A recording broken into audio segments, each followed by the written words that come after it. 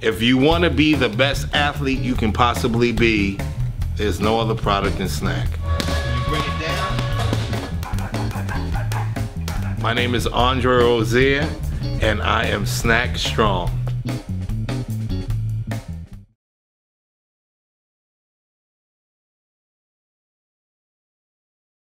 Hey, what's up, everybody? Marcos Villegas being joined uh, via Zoom with uh, Abel Sanchez. And Abel, I wanted to get you on the line uh, to get really your thoughts uh, of the fight that happened over the weekend of Vasily Lomachenko and uh, Teofimo Lopez. Teofimo Lopez upsetting uh, Lomachenko. What do you think of the fight overall and, and, how both fighters fought? I thought it was a very good fight. Uh, I, I didn't think that I didn't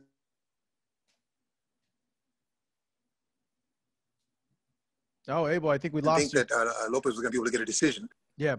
Oh yeah, there we go. There we go. Uh, there I didn't think that Lopez was going to be able to get a decision. Yeah, I didn't think Lopez was going to be able to get a decision because uh, of the experience on, on Loma's side. But I think that Loma was surprised by the speed. I don't think the power had that much, even though you could see that uh, the young man was very powerful. Uh, I, I, don't think the power was the issue. I think the speed was more of what Loma wasn't expecting. Um, the uh, the power he can deal with because he's got great defense. Uh, but he gave away too many of the first part, uh, first part of the fight. Too many rounds that just were not. Um, uh, it wasn't necessary for him to do that. I don't think. Uh, and since he did give away so many rounds, uh, maybe he was confident that he was going to be able to knock him out late in the fight, as he tried. But uh, Lopez proved to be a um, proved to me that he's worthy of being a, a, a, champion. Not only worthy of being a champion, but the way he fought the 12th, he wanted to win the fight. He wasn't going to take nothing for granted. Uh, I don't think he knew, obviously, that he was that far ahead. But the 12th round, he fought like a champion should, and he and he took it to Loma and won the 12th round easy. You know, I, I agree with uh, what you're saying uh, about the uh, the first couple rounds because I, I, know um, they did an interview with uh, Lomachenko's corner and they told him like, "Nah, this is part of our plan. We want to be patient and really put it on uh, the later part of the rounds." But like you said, I just you can't give a guy like that, like like Teofimo, who's young, that much momentum and give him like the first five six rounds. Like that's a huge deficit to come back from in in, in any type of fight.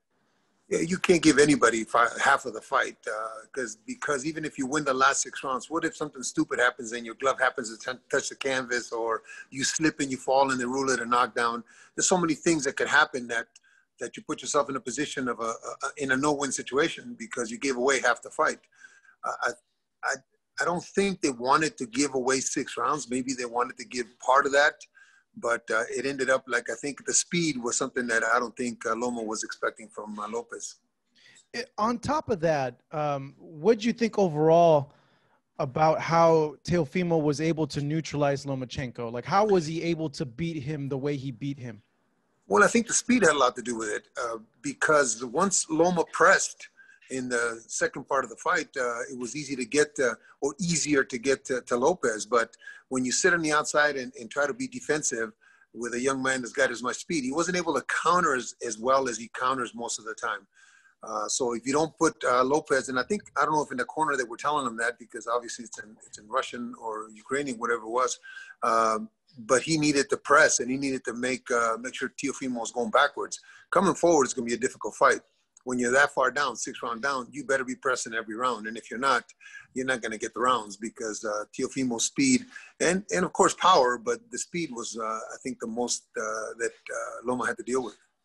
The uh, scorecards were. Um all in favor uh, of uh, Teofimo Lopez, but a lot of people online are, are, saying that it was a lot closer fight than it actually was. Andre Ward scored the fight a draw for the official ESPN telecast. Did you think it was a closer fight than what the judges had? Oh, Almost definitely. I thought that Andre was right on when he was talking about maybe in the 10th or 11th. I thought going into the 12th, I thought the 12th was going to decide the fight for me. Mm. Uh, the knockdown and, and, and, and everything else combined, I thought that it was an even fight up to that point, and I thought that whomever won the 12th round was going to take the fight. Uh, and Teofimo fought like a champion, man. He, he took the 12th round and, and he took it convincingly for me anyway. So I thought the right guy won. The scores were lopsided, but I thought the right, the right guy won. So you had him up by a point? I, I, I, had him up by winning the fight. I had him seven yeah. to five. Winning the, the last round was the was the deciding for me.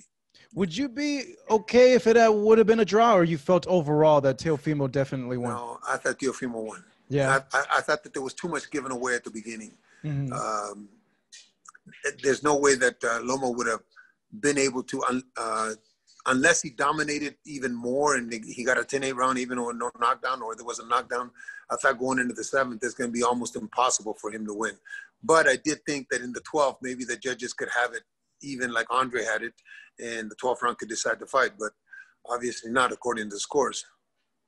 Now, with this, you know, where, where does Lomachenko go? Because a lot of people um, have said, you know, that for the past few fights, Lomachenko has started to show his age uh, because of the performance he's had against uh, Luke Campbell, Linares, uh, and, and others. Uh, do you feel that it's too early to say that his best days are behind him, or what do you make of that? You know, it's, it's it's funny how yesterday or before the fight he was pound for pound number one. It was never ever anybody any better. And one fight against a very very good good young fighter makes him old, makes him over the hill. That's ridiculous, man. That's an exceptional fighter. Uh, I, would like to see a rematch, to say the truth. Uh, but it's an exceptional fighter that uh, has accomplished a lot in his short career. Uh, he had a great amateur career and he's done a lot in the pros. I think that he had a, a, guy in front of him that was determined. Uh, Lopez Lopez is going to go very far. Lopez is a very very good fighter as long as he keeps on track. But Loma is also an ex- exceptional fighter.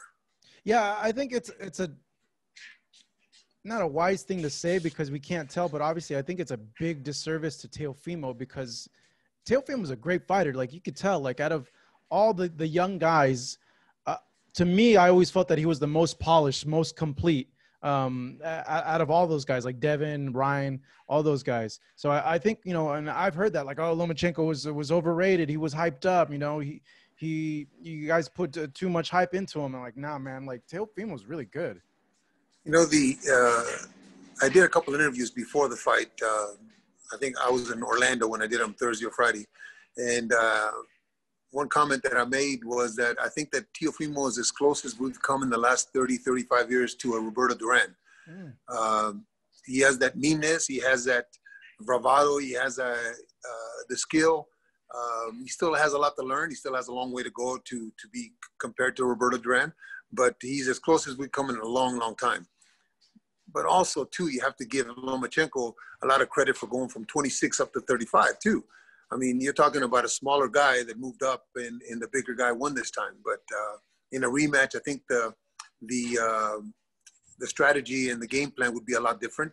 Uh, if Lomachenko starts earlier, is he able to to do what he did so convincingly in some of the uh, late rounds?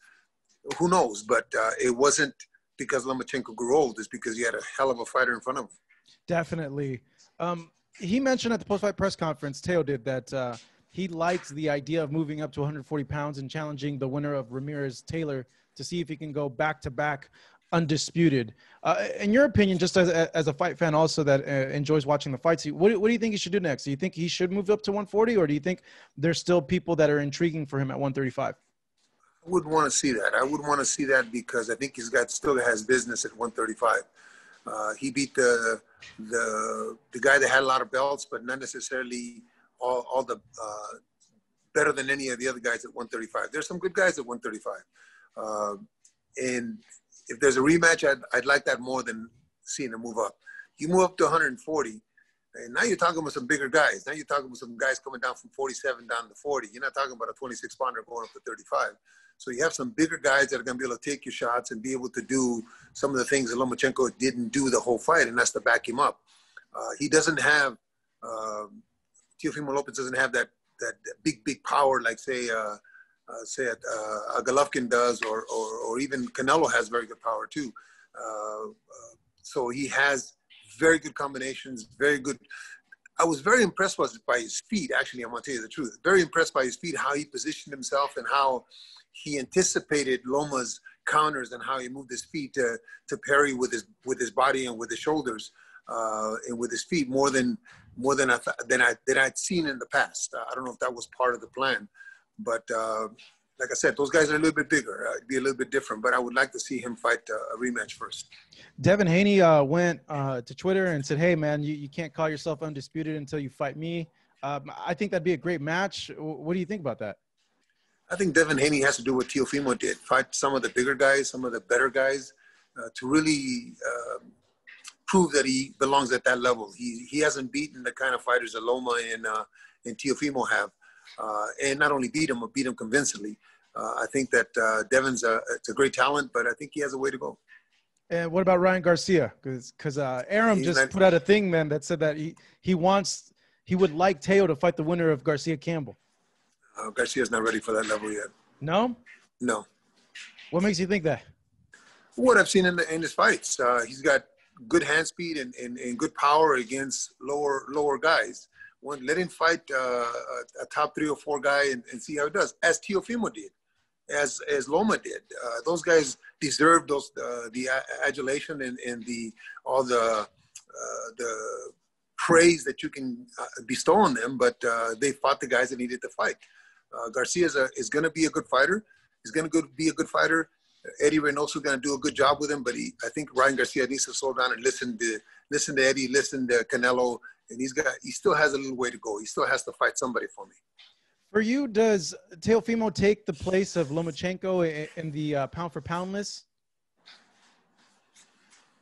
Oh, I think Lomachenko drops, but uh, Teofimo would be above him. Uh, but I don't know. I don't know who's above in the pound for pound. For me, Canelo's the number one pound for pound. I mean, he's got a resume that uh, is beyond everybody else is fighting right now. So um, he, he could be ahead of him. I don't know who. Uh, Terrence Crawford's also uh, in the top three. You know, so there's a lot of very, very good guys up there. Um, he's going to move up, obviously, but uh, I don't know if he'll move up into the, the top three or four. Top five, maybe? Top five for sure. Yeah, for sure. Yeah. Yeah.